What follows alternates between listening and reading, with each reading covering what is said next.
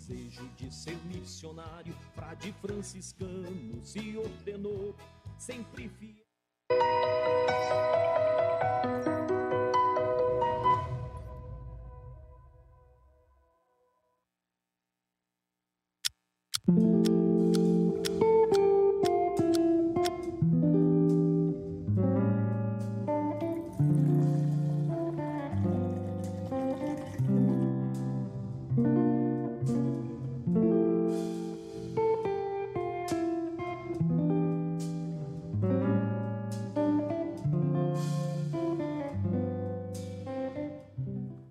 Queridos irmãos e irmãs, paz e bem? Bom dia com Frei Galvão.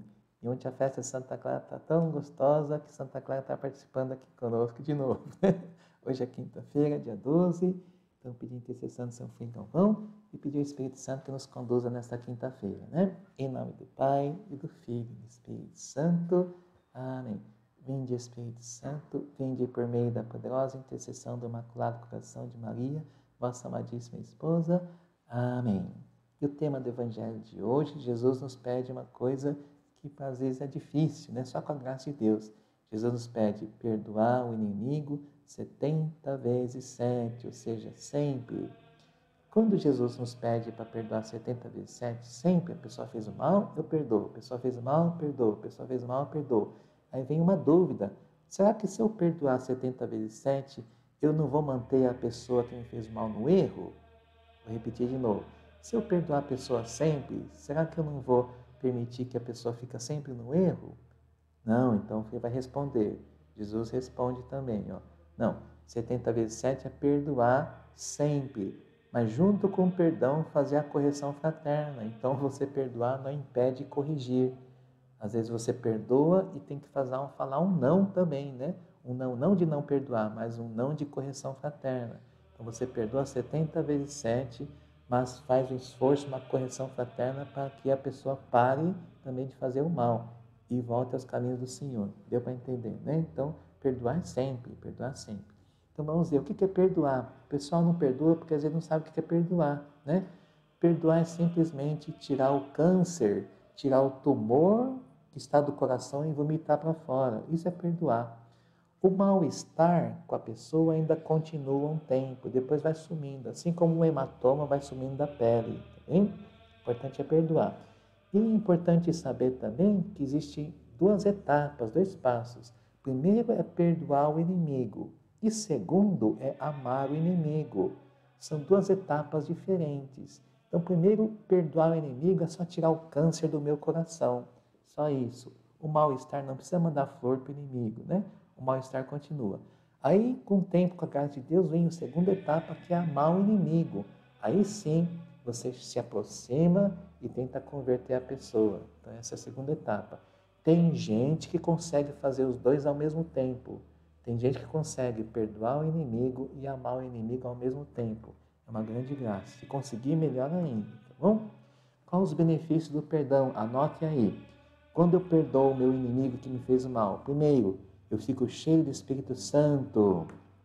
Segundo, eu alcanço a graça da cura interior, inclusive cura física, cura de doença física, é curado com perdão. Terceiro, o demônio sai correndo, porque o demônio tem pavor de pessoa que perdoa. Tá Quarto, a pessoa que me fez o mal passa a prestar conta com o próprio Deus. Quando eu perdoo, fica eu e ele, eu e o inimigo. Quando eu perdoo o inimigo, aí o inimigo fica à mercê da justiça divina. Por isso que traz uma paz.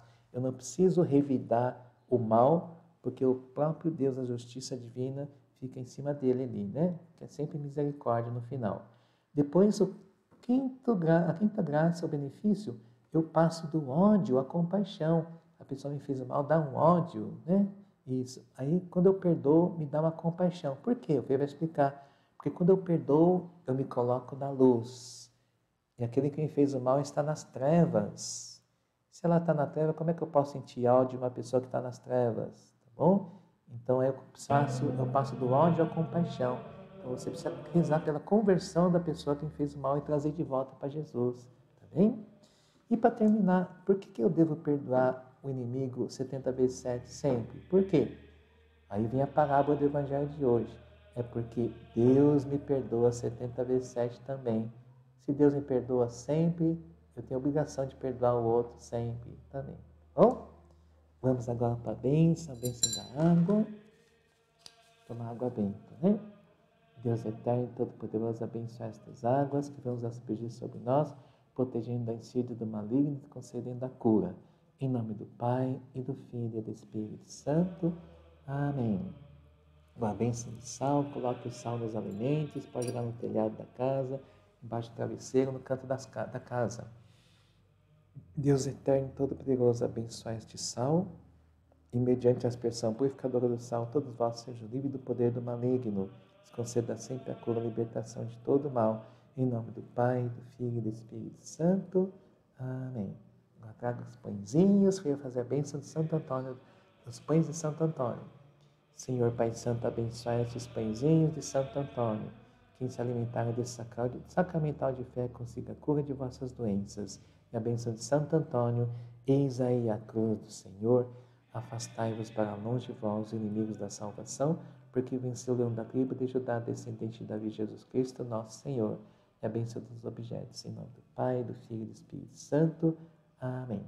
A bênção dos objetos, abençoai, Senhor, todos os objetos de piedade, terços, escapulários, medalhas, chaves, bíblias, imagens, chaves do carro da moda da casa, documentos, carteira de trabalho, medicações, exame médicos, currículo de emprego, para que sejam sacramentais de fé e a presença de nosso Senhor em vossas vidas.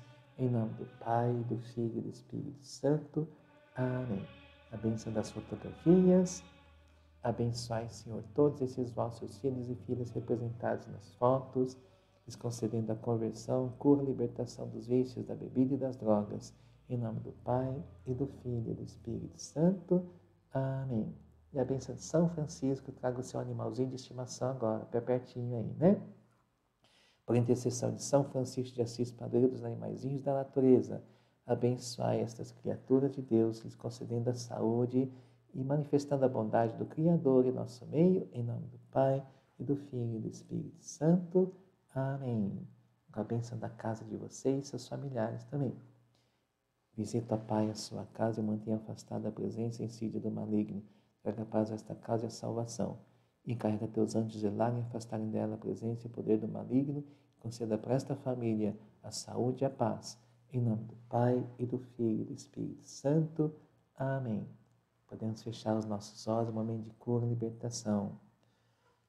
Jesus, Salvador, meu Senhor e meu Deus, que com sacrifício da cruz redimiu e libertou do poder de Satanás, te peço que vos liberte cada presença maléfica, cada influência do maligno, todo tipo de malefício espiritual feito contra vós por ódio e inveja, pelo seu santo nome, suas santas chagas, pelo justíssimo sangue, Santa Cruz, pela intercessão de Maria Imaculada, São Miguel, São Gabriel, São Rafael, vosso anjo da guarda, em nome do Pai, e do Filho e do Espírito Santo. Amém.